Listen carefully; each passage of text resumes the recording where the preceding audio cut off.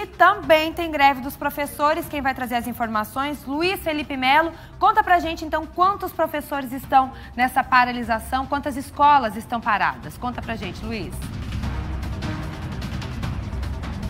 É isso mesmo, Maria. Aqui na região de Joinville, a regional de Joinville, que engloba cerca de oito municípios, são 450 professores que estão paralisados.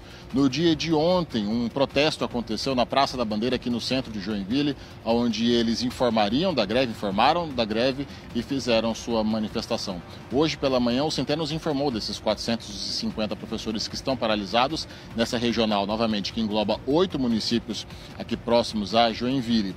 Hoje de manhã eles estiveram fazendo uma manifestação em frente a uma escola no Nova Brasília e o Centeno nos informou também que amanhã pela manhã eles vão até a escola Bailarina, que fica no bairro Vila Nova, para fechar a escola para aderir a essa greve dos professores.